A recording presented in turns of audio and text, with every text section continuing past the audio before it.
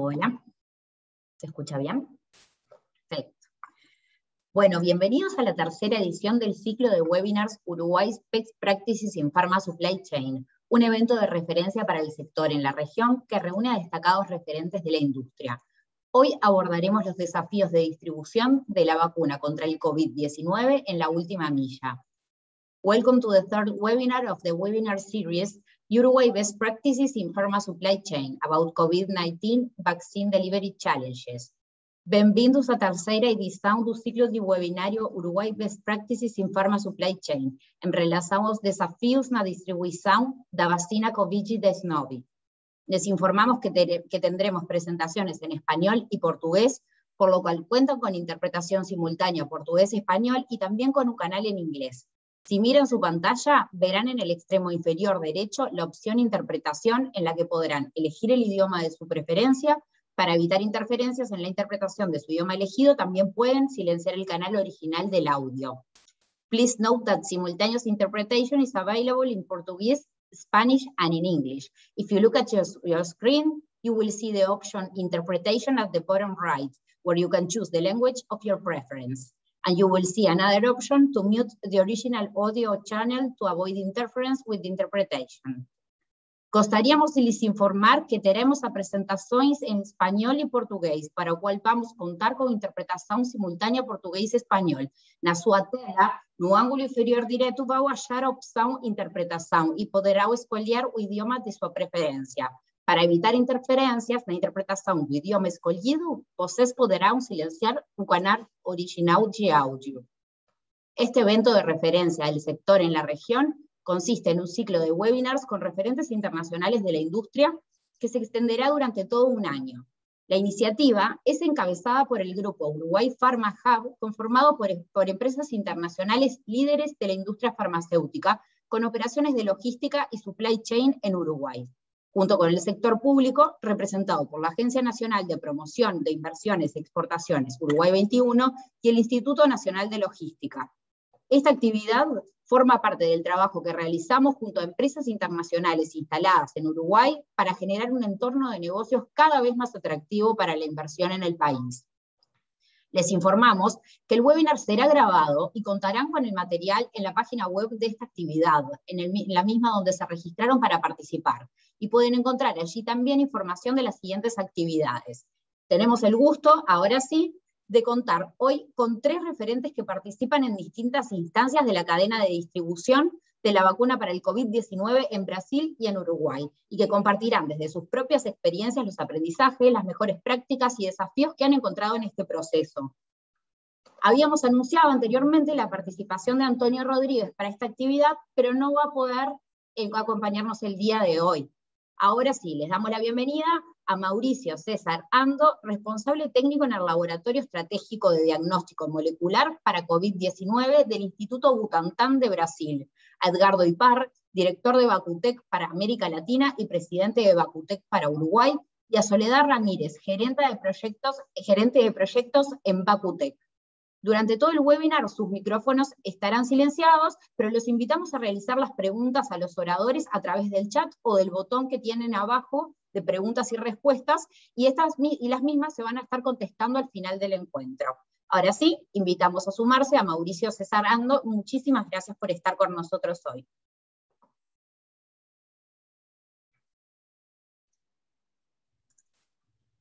Olá, bom dia.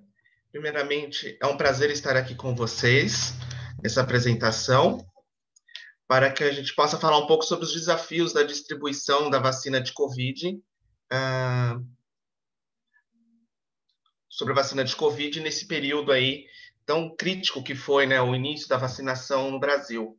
Né? Atualmente, então, como foi dito, trabalho no Instituto Butantan, e o Butantan foi uma das referências na distribuição da vacina Covid para, para o Programa Nacional de Imunização Brasileiro. Tá? Deixa eu subir a apresentação.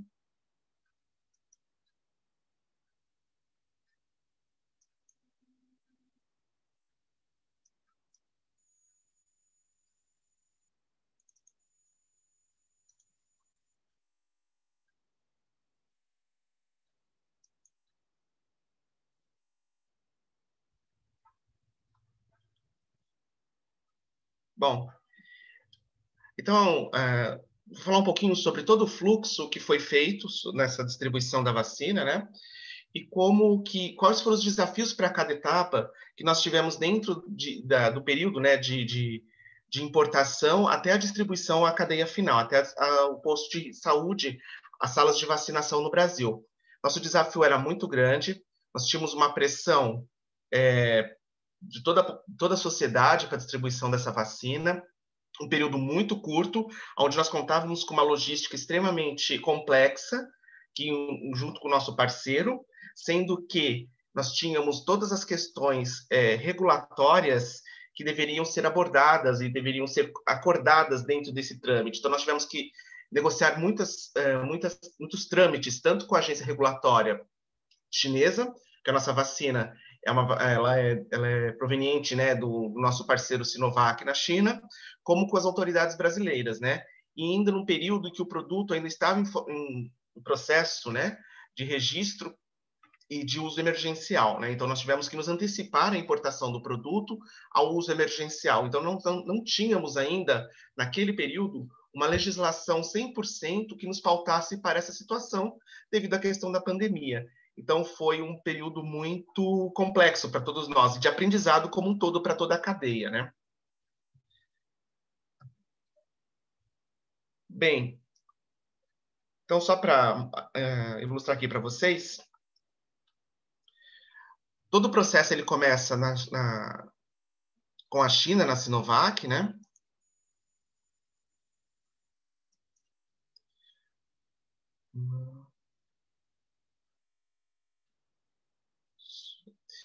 Então, nós tínhamos lá toda a produção do IFA, que é o insumo farmacêutico ativo, que era porque toda a produção inicial do, da nossa vacina era iniciada na China, que foi um processo de transferência de tecnologia. Então, nós contávamos com todo essa, esse período, né? E também com a concorrência que a, que a Sinovac tinha também no mercado chinês. Então, nós tínhamos que combinar toda essa questão de programação e de entrega, justamente para por competir com o mercado, né? Com a, com a distribuição e a vacinação na China. Então, a produção do insumo farmacêutico ativo foi um grande desafio para todos nós. Vencida a etapa de produção, era necessário negociar com os órgãos chineses a liberação de exportação, onde nós tivemos várias negociações, houveram, infelizmente, alguns atrasos nessa liberação por questões é, de documentação, tanto do, do, governo chinês quanto do governo brasileiro, justamente por não estar tão pautada a legislação naquele período, mas todos entendiam a emergência, a urgência de entregar o produto, então nós tivemos uma série de trâmites, né, que nós precisamos é, realizar aí o, essa questão da importação, né, e lógico contar com a, com a, com a colaboração do governo chinês para liberação de exportação. E o preparo da carga para o embarque, né, que foi também uma grande questão, porque porque nós tínhamos que ter toda a nossa validação de transporte finalizada ou pelo menos concorrente. Nós tínhamos que realizar ainda, ainda junto, né, a, a questão da validação de transporte e monitoramento de temperatura, né, e também num período aonde a carga aérea, a malha aérea, né, ela estava reduzida, então nós tivemos que também contar com as disponibilidades de voo, que também foi um grande desafio para nós, onde nós tivemos que né, ver vários tipos de rotas, né, onde que o produto poderia de forma que voos que poderiam chegar, até porque nós tínhamos que cobrir o maior número de de possibilidades, justamente por causa da validação de transporte que o produto tinha. A questão dele ser um produto refrigerado de 2 a 8 também complicou bastante essa questão da validação. E também né, a disponibilidade das embalagens de transporte ativo, né? Porque nós tínhamos né, uma demanda muito grande e, lógico, não só nós, mas o mundo todo estava atrás dessas embalagens, então nós tivemos também que contar com essa disponibilidade junto à, Sinovac chinesa, para que a gente pudesse ter essa, essa complexidade toda distribuída, né? Bom, vencida a questão da China, né, da, da exportação, começam os trâmites no Brasil. Então, aqui, todo o processo né, brasileiro, conduzido inicialmente pelo, por nós, pelo Instituto Butantan, onde nós tivemos que questão, conceber a questão da licença de importação para receber o produto no Brasil, né? O recebimento do insumo farmacêutico ativo do produto, até porque o produto ainda não estava totalmente pronto, ele havia uma etapa de fabricação do produto no Brasil, o Instituto Butantan, uma etapa de envase, embalagem né, do, do produto para deixar ele disponível, né?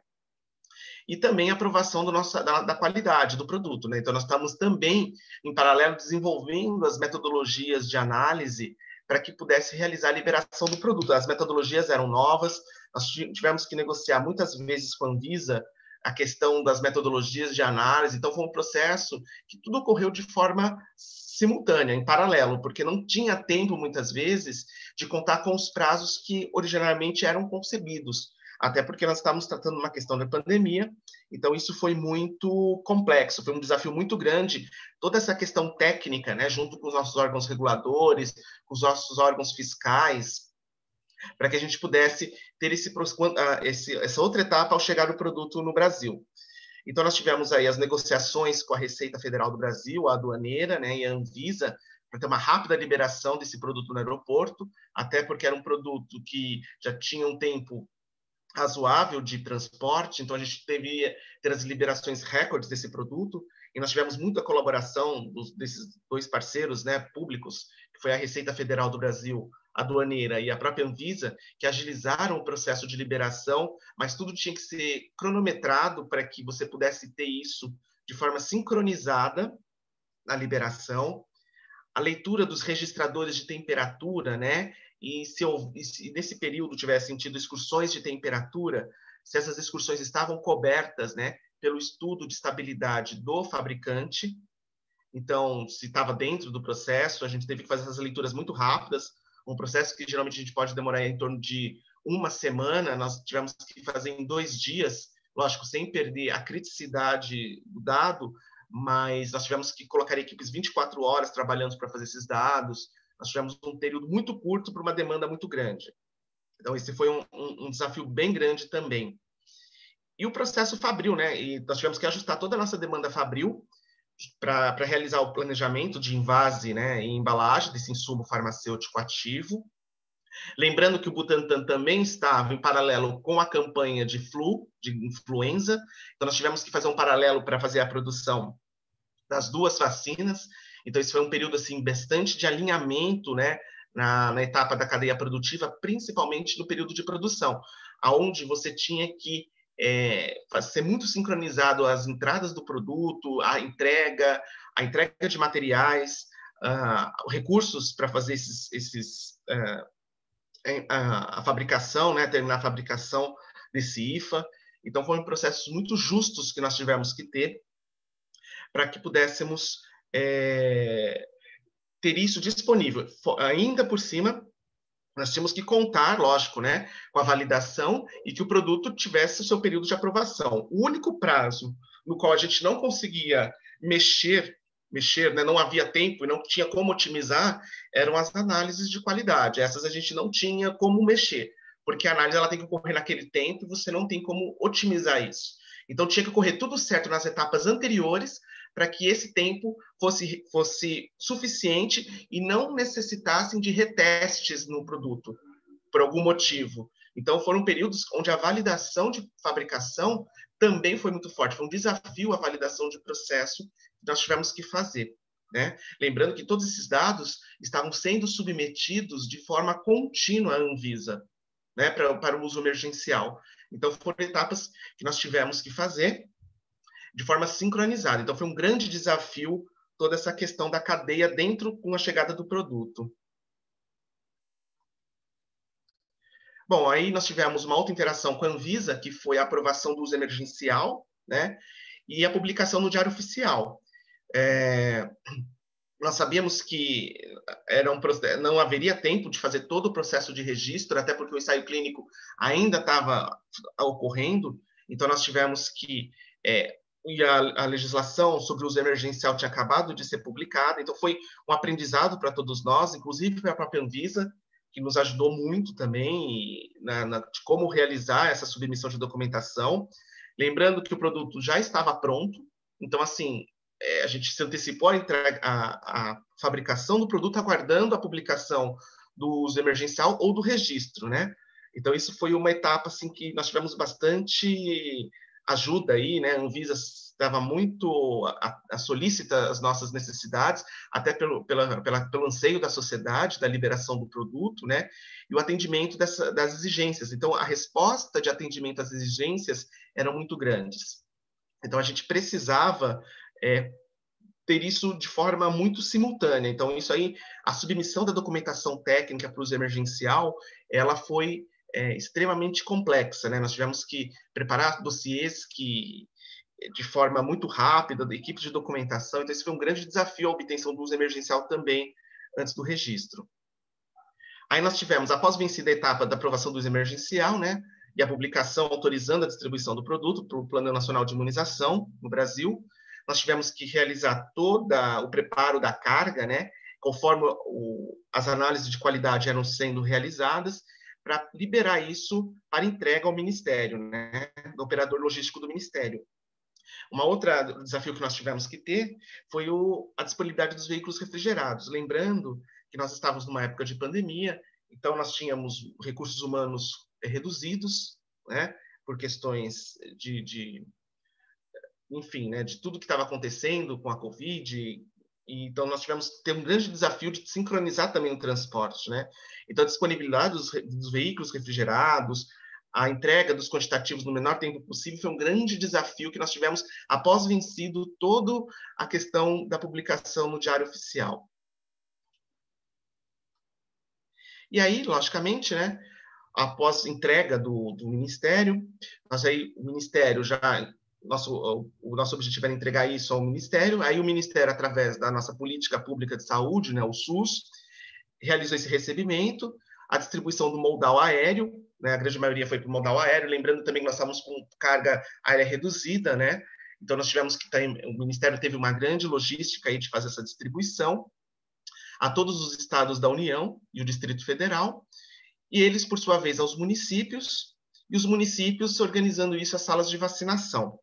Então, assim, o, é, o desafio do preparo de toda a pauta de distribuição, a questão do atendimento aos grupos prioritários, né, para o início da vacinação, e a organização né, da distribuição para todos os municípios no período de redução de malha aérea, como eu disse.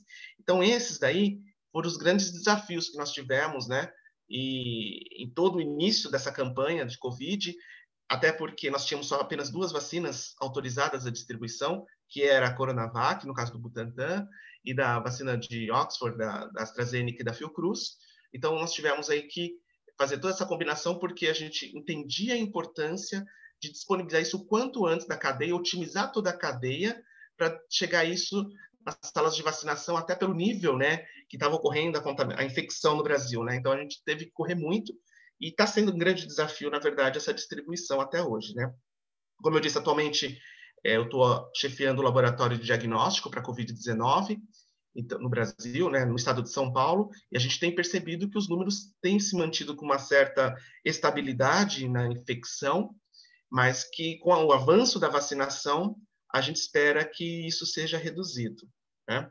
Então, esse daí era o panorama que eu queria trazer para vocês, compartilhar essa experiência que nós tivemos aqui no Instituto Butantan, para fazer toda essa distribuição aí da vacina.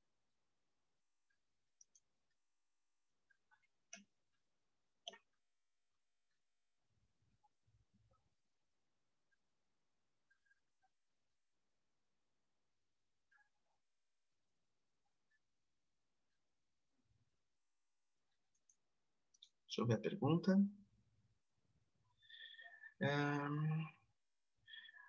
Então, Vinícius, vocês o tamanho das aeronaves.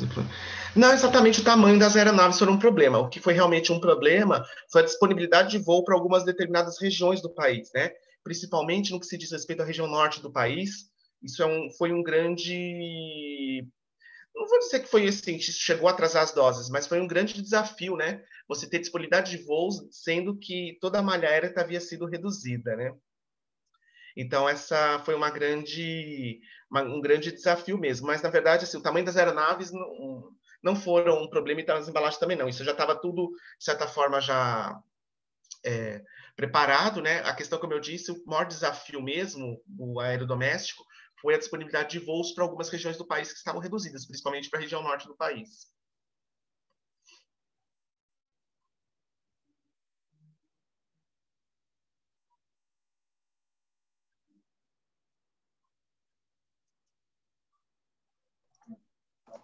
Muchas gracias, Mauricio. Vamos a realizar algunas consultas que por el chat y otras que, tenemos por privado. Acá nos está preguntando eh, Diego, ¿qué soluciones de transporte fueron utilizadas en la distribución? ¿Sistemas pasivos o activos?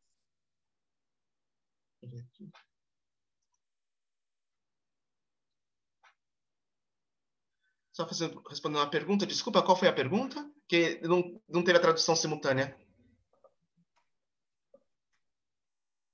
A pergunta foi: que, que soluções de, de, transporte foram utilizadas na distribuição? Ah. Sistemas passivos ou ativos? A importação do produto da China para o Brasil foi um sistema ativo.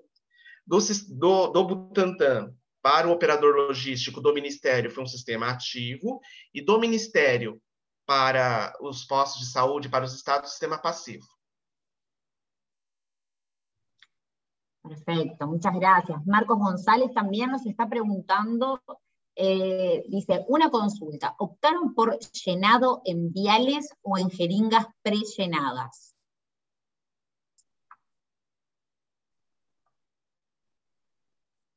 Nós escolhemos é, uma questão de logística do Ministério, espaço, enfim. Inicialmente foi solicitada uma, uma, quantidade em, em, em unidose, né, num frasco único de uma dose, e depois frascos de multidose para otimizar os espaços na, na cadeia de frios dos postos de saúde, então. Então, a multidose não havia tempo e, e, na, e nós estávamos com uma falta também de, de, material de embalagem, né? Então, a tecnologia escolhida pelo Butantan foi o invase vacinas multidose que já é um hábito já e o, o, todo o sistema de distribuição do Brasil já está acostumado com o sistema multidose. Perfecto, muchas gracias. Otra consulta. De todas, las, de todas as etapas, qual foi a mais desafiadora para você na sua opinião, do Instituto Butantan? A, a, mais desafiadora de todas sempre é o órgão regulador, né? Essa questão toda de documentação que nós temos que submeter a nosso órgão regulador Anvisa, que a gente conta muito com a ajuda, né? E, e eles foram muito solícitos em nos ajudar em todo o envio de documentação, análise, nos ajudar no sentido de entender as necessidades e, as, e as, todos as, os desafios que nós estávamos tendo naquele momento. E também um outro desafio que nós tivemos foi a questão da, das negociações com o governo chinês na liberação dos insumos farmacêuticos ativos para exportação, né, para chegada no Brasil. Então, esses foram os grandes dois desafios: a negociação com as autoridades chinesas e a submissão do uso emergencial com a Anvisa. Muchas gracias. Una consulta más. ¿Cómo se, eh, ¿Cómo se deu a validação de transporte da China, da China ao Brasil da carga refrigerada? A, o estudo ele foi feito através de sensores de temperatura, nós fizemos a simulação, nós tínhamos, na verdade, uma validação já realizada para outro produto inicialmente, que nós recebemos da China, nós utilizamos esses dados prévios, certo? E como nós já tínhamos essa validação de certa forma realizada, e a carga, o racional de carga era muito parecido, nós aproveitamos o mesmo racional já realizado para aproveitar a validação, que nós certificamos né, o estudo com o recebimento do produto no Brasil e com as baixas de temperatura que foram feitas, né? Então nós conseguimos validar, né? É, confirmar nossa validação de um outro estudo por esse, até porque nós tínhamos coisas semelhantes.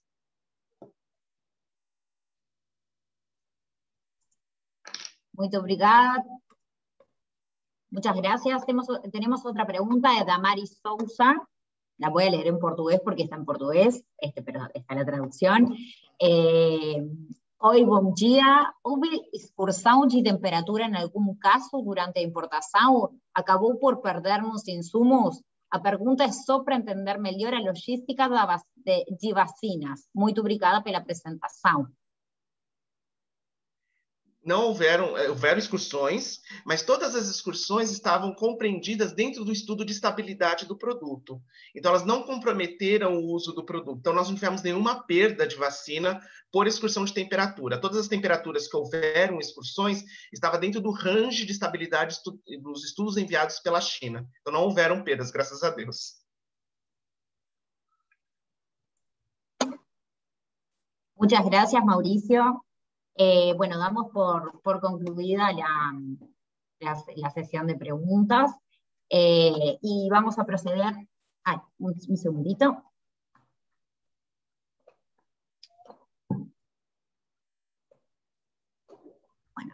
Disculpas, bueno, cualquier, eh, vamos a concluir por el momento, así damos, continuamos el webinar, pero todas las consultas que les queden pueden seguir poniéndolas en el chat, que después las vamos a retomar al final de la, presentación. Ahora sí, entonces vamos a continuar con la última presentación de este encuentro, es el turno de Edgardo Ipar y de Soledad Ramírez. Edgardo es director de Bacutec para América Latina y presidente de Bacutec en Uruguay. Es experto en logística y supply chain con más de 20 años de experiencia. Soledad Ramírez es gerente de proyectos en Bacutec, con formación en química de la Universidad de la República. Además, cuenta con más de 12 años de experiencia en la industria farmacéutica, el desarrollo de embalajes y auditorías de calificación en cadena de distribución en Latinoamérica. En esta oportunidad, nos van a estar presentando su experiencia en el trabajo de distribución en la última milla de la vacuna para COVID-19 en Uruguay. Adelante, Edgardo y Soledad, y muchas gracias por estar con nosotros. Muchas gracias a ustedes. Buenos días. Eh, en primer lugar, este, vamos a estar hablando de, nos gustaría presentarles, mejor dicho, cuáles son las, variables que, hemos encontrado a nivel global en la la diferente cantidad de, vacunas que se han desarrollado, ¿verdad? Este, a ver si podemos, si podemos visualizar aquí, este, simplemente para dar un pantallazo general, eh, en el mundo hoy se han desarrollado muchos diferentes tipos de vacunas, este, la, la, vacuna de Pfizer BioNTech, la vacuna de Moderna, la vacuna de AstraZeneca, la vacuna de Johnson Johnson, la de GSK Sanofi, en fin, una, una gran variedad de las mismas, que como verán en este cuadro, todas tienen distintos desafíos en cuanto a, los rangos de temperatura que se exigen, tanto para mantener la vacuna en, el, hub como para la distribución hasta que llega a los puestos de, vacunación en, en, el país. Este, en el caso de Uruguay, nosotros este, nos encontramos con, o sea, hicimos el, estudio, analizamos eh, y, vimos que nos íbamos a, encontrar con desafíos diferentes de temperatura, en el caso de la de Pfizer de menos 70 o en el caso de la de Sinovac, que son las vacunas que más hemos tenido en Uruguay, este, una vacuna de 2 a 8 grados. Si vemos este, en el próximo slide, podemos ver cuáles son los desafíos y cuáles son las fortalezas que nos encontramos eh, en el momento en que se empezó a estudiar eh, la venida de las vacunas. Desde el principio supimos que la vacuna de Pfizer traería un desafío en la logística que era muy grande, dado que el requerimiento de temperatura de almacenamiento a menos 70, cuando comenzamos a trabajar con el equipo multidisciplinario liderado por el Ministerio de Salud Pública, aún sin tener la certeza de que la vacuna asignada era la de Pfizer, nos pusimos a pensar en el peor escenario. entonces dijimos, ¿cuáles serían las condiciones que tendríamos que cubrir para poder manipular una vacuna como la vacuna de Pfizer? Este, que esto sería eh, administrar la vacuna en, los distintos puestos de vacunación y dijimos, cómo podemos obtener una experiencia en una temperatura extrema que Uruguay no tenía. Entonces nos, nos, validamos con nuestros colegas de, Europa que ya estaban haciendo, ya estaban realizando la distribución de la vacuna a menos 70 y que este, tenían ya la experiencia. Entonces, sabíamos que las condiciones extremas de temperatura se daban al inicio de la distribución y, en el almacenamiento durante los primeros seis meses, y que la distribución en la última milla podía ser hecha de 2 a 8 grados. La diferencia de esta vacuna con las convencionales es que solo admite 120 horas en esas condiciones, por lo que una vez que se almacena entre 2 a 8 grados, es administrada en los próximos 5 días. Este, no sé, Soledad, si nos querés este, compartir algún otro concepto en relación a los desafíos y a las fortalezas en las que nos enfrentamos. Em, sí, buenos días a todos y gracias por participar. Como les comentaba Edgardo, em, desde, que empezamos a, participar de este equipo multidisciplinario y supimos que la vacuna iba a ser la de Pfizer, eh, nuestro compromiso fue bueno, mantener esas 120 horas de eh, almacenamiento entre 2 y 8, porque además al no tener demasiados estudios de estabilidad eh, disponibles, uno cuando manipula un producto de cadena de frío o bien congelado, tiene algunos... Este, alguna cintura, algún movimiento por si puede haber alguna excursión de temperatura permitida. En este caso nosotros no teníamos este, esa, este, esa información, porque de hecho creo que todavía no, no, existe. Entonces, bueno, teníamos que asegurarnos ese 2 a 8 estricto eh, y, teníamos la experiencia y teníamos la, los recursos acá en Uruguay para hacerlo y no dudamos en, bueno, en, ofrecer el servicio de manera inmediata.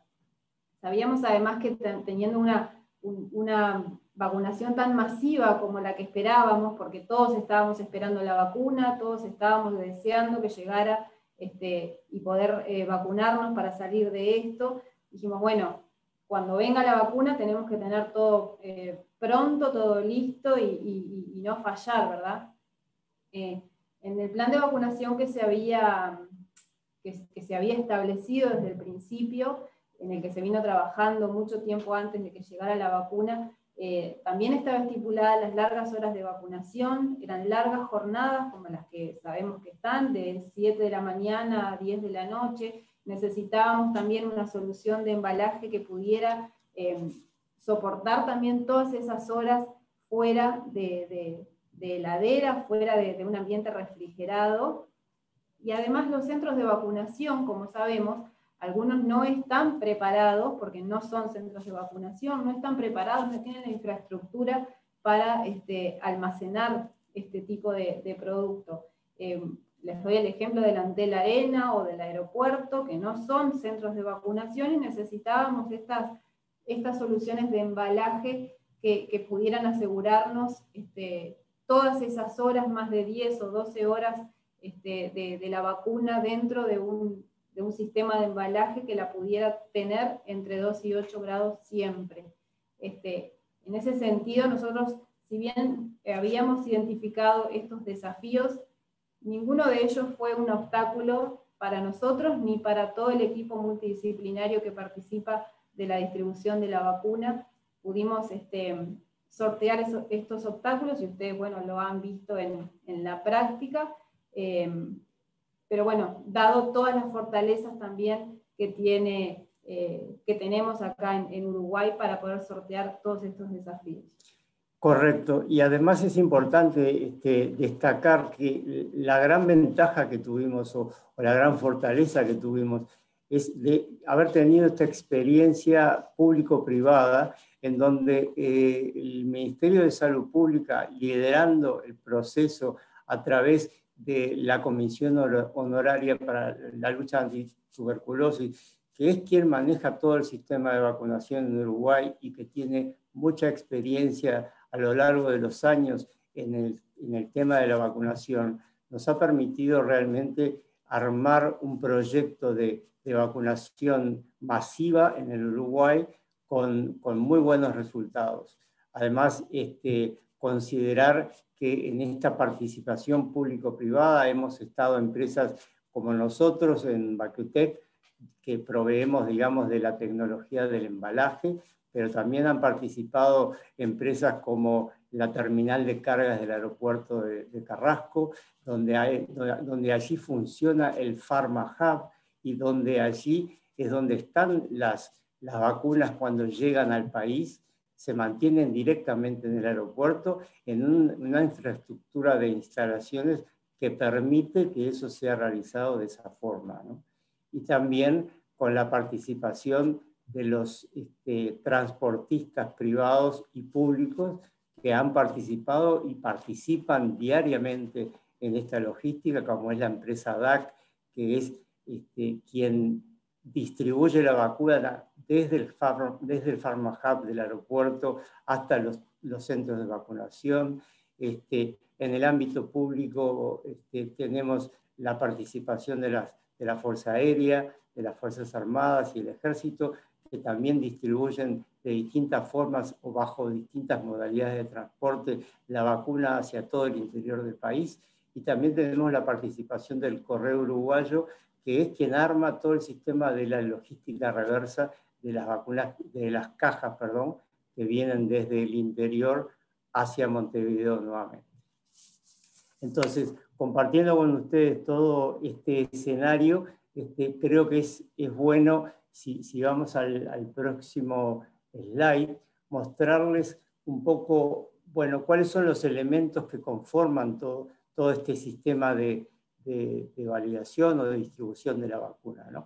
Primero que nada, mantener un buen inventario de, de embalajes, embalajes muy robustos, embalajes que pueden este, entregar la calidad que es necesaria para, para, la estabilidad que tiene la vacuna, este, el acondicionamiento de los, de los intercambiadores de fase, que son los elementos que nos dan este, frío, que nos dan la temperatura correcta al embalaje, y eh, todo el proceso de logística reversa que luego esa caja va a realizar cuando, cuando regresa a nuestro centro. Si vemos en el próximo slide, vamos a ver este, todo el círculo que vamos este, a ir conformando esa, eh, en esa logística. Primero, el, Ministerio de Salud Pública, a través de un sistema que tiene eh, de un software, hace su orden en el sistema. Eh, ahí, nosotros recibimos la orden, la orden es confirmada al Ministerio y desde allí se comienza todo el proceso de la caja es entregada este, con un termógrafo que está integrado a la caja. Ese termógrafo este, participa, digamos, eh, hace una interfase con el sistema de Bacutec y esa interfase es lo que nos permite en todo momento estar accediendo a cuáles son los rangos de temperatura que tiene el producto que está allí dentro de la caja. Eh, la gran ventaja que tenemos en este, en este termógrafo que elegimos, ¿cuál es? Es que es un termógrafo de, última generación, de muy buena tecnología, y lo que permite el termógrafo es que simplemente detectando la luz este, empieza a, hacer su sistema de, funcionamiento. Es decir, cuando en, el Pharma Hub del aeropuerto abren la caja para colocar la vacuna dentro, el termógrafo registra ese ingreso de luz y, reactiva, o sea, comienza a brindar la información de la temperatura que tiene la vacuna que se va a colocar allí dentro. Luego sale de allí del aeropuerto, la vacuna este, es transportada dentro de estas cajas con temperatura controlada hacia todo el país, hacia los centros de vacunación, y lo importante es que la, caja funciona a lo largo de toda la jornada de vacunación este, como si fuera un elemento refrigerante, como si fuera una heladera, este, ya que estamos hablando de centros de vacunación, como decía Soledad recién, que no están preparados para realizar ese funcionamiento y la caja allí opera como, como si fuera una heladera manteniendo la temperatura y soportando las diferentes cantidades de aperturas que tiene la caja a lo largo de la jornada de vacunación, dándonos la seguridad de que la, no hay excursiones, no hemos tenido excursiones de temperatura a lo largo de todo este proceso y nosotros monitoreamos tanto en Uruguay como nuestra central en Alemania está monitoreando la temperatura que tienen las cajas y la temperatura en la que se acondiciona el embalaje eh, en forma diaria y permanente.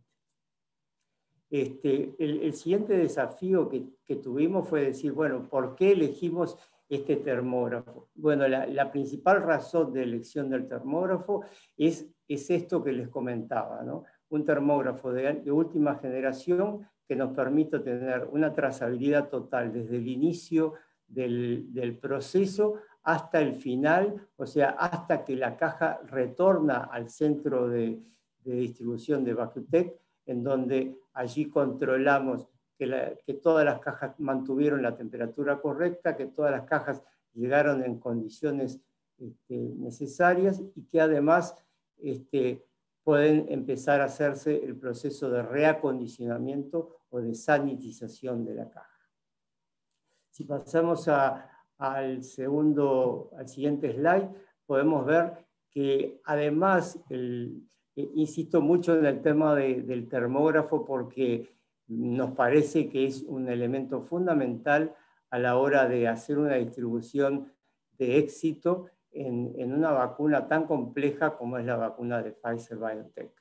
Eh, lo que estamos viendo aquí en pantalla son este, las imágenes que nos aparecen en los celulares.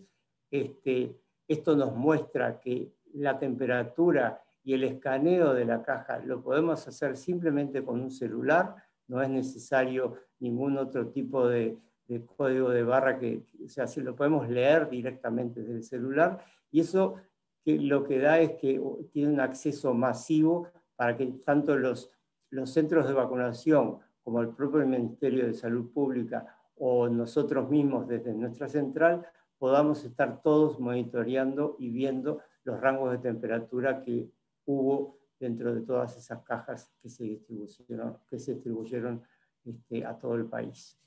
lo eh, importante además en, en, este tipo de, de, termógrafos es que no es necesario abrir la caja para saber qué temperatura eh, tiene adentro el producto. Entonces, el personal de salud, simplemente teniendo la aplicación y escaneando el código de barras de la caja, puede saber que, en qué condiciones este, va a estar adentro y, le va a dar esa lectura cada vez que el usuario lo necesite o lo, eh, o lo sienta necesario, sin tener que abrir la caja. Además, en el reporte de temperatura em, se va a saber hasta cuántas veces se abrió la caja, porque por cada, este, como al tener un detector de, de, luz también es posible saber cuántas veces se abrió la caja durante la jornada de vacunación. Entonces, si hubiera alguna excursión de temperatura, podríamos detectar en esa investigación si se abrió demasiadas veces, por cuánto tiempo estuvo abierta, si la caja quedó abierta este, por mucho tiempo, que puede haber generado esa excursión de temperatura.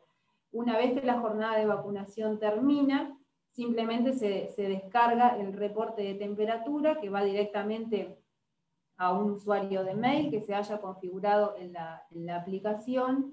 Y bueno, como decía Edgardo, en nuestro sistema nosotros tenemos toda la trazabilidad de, este, de, esa caja desde que se empezó a condicionar en nuestra estación, o sea, desde que se empezaron a condicionar esos este, refrigerantes en nuestra estación, hasta que la caja volvió, nosotros sabemos a qué temperatura estuvo siempre, y por el momento este, no hemos tenido excursiones de temperatura, o sea que no ha habido este, dosis ni, vacunas que se hayan tenido que descartar por este motivo. Muy bien. Este, simplemente ahora lo que los vamos a invitar es a ver un pequeño video donde van a poder visualizar un poco todo este cuento que les hicimos de cómo fue la distribución, cómo se hace hoy la distribución en, en, las vacunas en Uruguay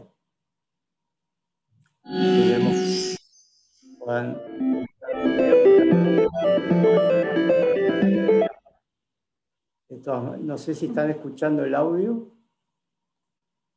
Sí, perfecto, se escucha, Edgardo.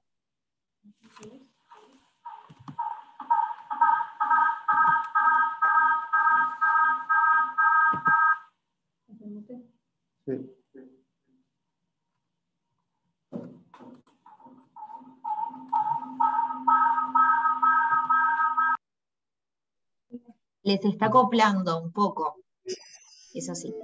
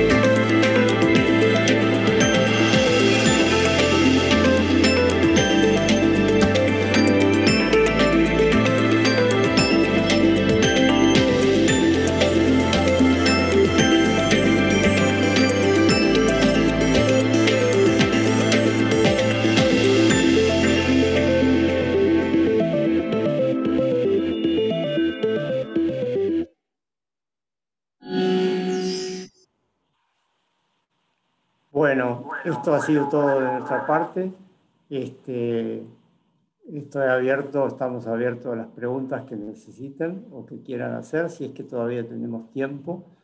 Este, así que muchas gracias.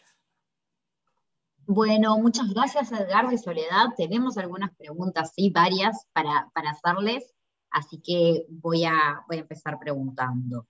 Eh, Mónica pregunta, si tienen alguna información adicional reciente sobre el aumento del periodo de estabilidad de la vacuna Pfizer en la franja de 2 menos 8 eh, grados centígrados.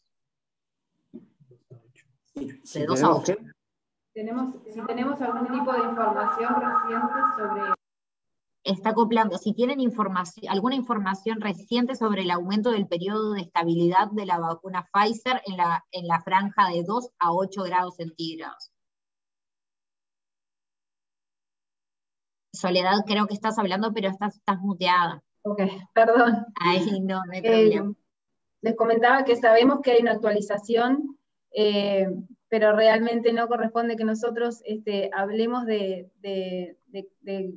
términos tan técnicos, porque nosotros nos ocupamos de la última milla y no de este, las autorizaciones sanitarias ni nada que tenga que ver con el ministerio. Sí sabemos que hay una actualización en el tiempo de, de, estabilidad de la vacuna entre 2 y 8, que excede un poco los 5 días, pero no, creo que sea este, responsable de nuestra parte decirlo.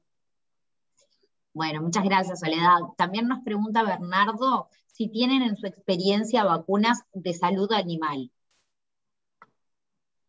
Sí, sí, nosotros trabajamos, tenemos este, clientes, bueno, no sé si corresponde hablar ahora de clientes y eso, pero sí, este, nosotros trabajamos con, vacunas este, para salud animal, sí. Perfecto. Bueno, y Gabriela nos pregunta si diseñaron un plan de contingencia para actuar en caso de desvíos de temperatura en la caja, en la caja de un vacunatorio. Sí, Em, de hecho, no nos ha pasado, pero si hubiera eh, problemas, inmediatamente el laboratorio Calmete, que es el responsable en, lo que conocemos como la lucha antituberculosa, ellos este, pueden este, retirar la, caja, retirar las vacunas y colocarlas en heladera, porque ellos están muy cerca del centro de vacunación, en este caso el Antel Arena, este, que es el que no tiene infraestructura de centro de vacunación. Entonces, al estar muy cerca, no serían más de cinco minutos este, de llevar todo hasta el Calmet. Perfecto, muchas gracias. Pues em, Antonio, pregunta, ¿se diseñó un plan de contingencia para actuar en caso de detectar algún desvío? Ah, eso ya, ya, disculpa, esa ya estaba contestada. Mónica pregunta, si el sistema TempChain está validado, además de la temperatura, ¿qué otras variables pueden ser monitoreadas, como unidad, posicionamiento, GPS, por ejemplo? No, el sistema solamente va a monitorear temperatura, no tiene un rastreo eh, de GPS, solamente eh, es temperatura y sí nuestros sistemas están eh, validados, tanto el, software, el TempChain, como el Vacuum Action, y, y, están calibrados para 2 a 8 y el rango de 15 a 25 es importante todo el monitoreamiento, el monitoreo que hace el chain en cuanto al acondicionamiento de los PCM desde el inicio del proceso. Ahí está, como les decía anteriormente en otras slides, nosotros tenemos la trazabilidad de todo nuestro acondicionamiento, de toda nuestra caja, desde que empieza el ciclo de vida de la caja, y ese sistema, que es el chain está validado, sí. Perfecto. Una pregunta más de Claudia que dice, ¿cómo se puede implementar ese modelo de distribución en otros países? ¿Qué se necesita? En realidad lo que se necesita es un buen sistema de logística reversa, si es que se quiere utilizar un sistema como eh, el que estamos usando acá para la última milla, que es una caja reutilizable, y también por eso es que se puede usar el Vacuum Action, que es el termógrafo, porque sabemos que sale de una estación y va a volver a una estación. Y la única manera de poder conectar la caja con el Vacuum Action es la interfase que tenemos en nuestro sistema TempChain. Entonces, si el usuario quisiera este, utilizar este sistema, eh, necesita tener un usuario en TempChain también, que va a ser la interfase entre la caja y el termómetro. Pero sí, se puede usar y de hecho se usa en distribución doméstica, ¿sí? Muchas gracias, Soledad. Eh, creo que es la última pregunta, o, penúltima. Eh, ¿Cuáles han sido los desafíos en la logística reversa? ¿Qué consideraciones fueron necesarias? Bueno, los desafíos, el desafío mayor este, fue saber cómo, qué, tipo de caja se iba a utilizar, es decir, que estuviéramos considerando una caja robusta que, que, pudiera ser utilizada muchas veces, que además pudiera ser chequeada para que nosotros pudiéramos validar el, el panel de aislación que tiene la caja esté en óptimas condiciones. Y después saber que, que contamos con una empresa de transporte que haga la logística reversa en tiempo y en forma, es decir, que pudiera retirar las cajas una vez que se terminaba el, el periodo de vacunación en, cualquier lugar del país y que la caja pudiera volver a nuestra estación para ser acondicionada. O sea, la logística reversa y la, la implementación o el diseño de la logística reversa es fundamental para este tipo de, sistemas, Creo que en el, caso de Uruguay, ya sea eh, la intervención de, la empresa DAC como la del Correo Uruguayo, han sido excelentes las dos.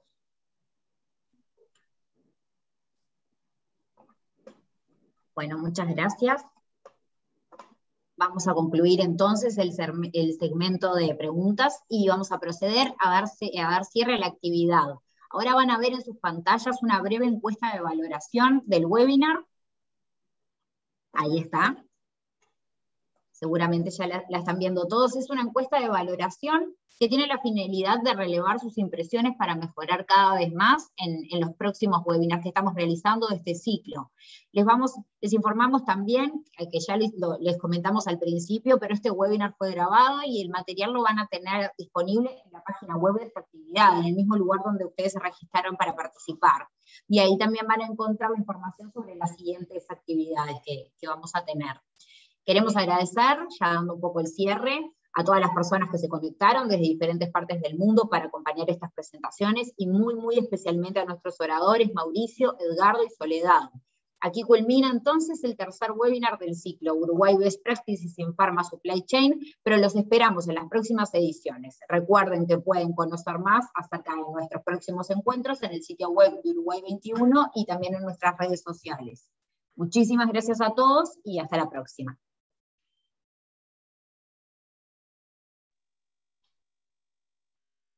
Obrigado.